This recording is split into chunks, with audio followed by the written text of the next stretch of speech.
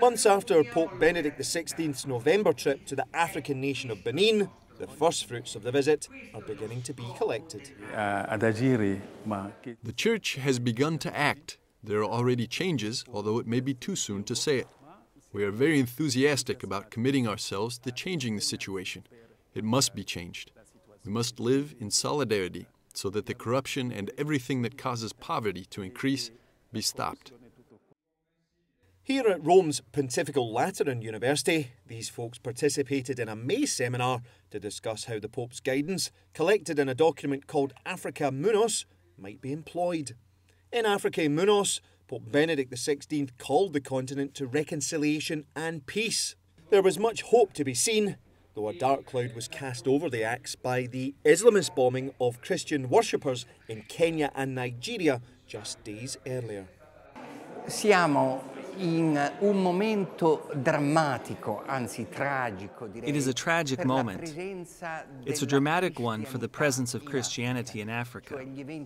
These most recent events, these killings, tell us that we are experiencing a time of persecution for Christians in some regions of Africa.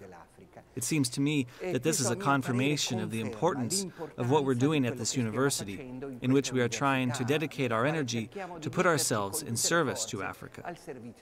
Why? We consider that Africa is really what the Pope said the continent of hope. Catholics in Africa are persecuted a bit by our Muslim brothers. It is a truly poor situation that we are living.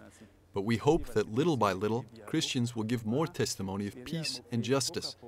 Those who put Catholics to the test with these bombings, I don't know what they were looking for exactly.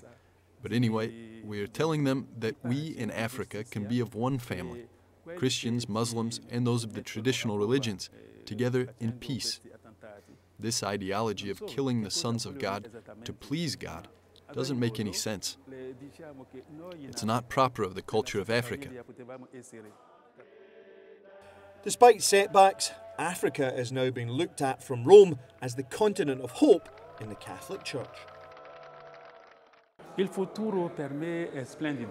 The future for me is splendid in the auspices of the text given to us by Benedict XVI that the Church in Africa is the lung of humanity, a source of hope for everyone.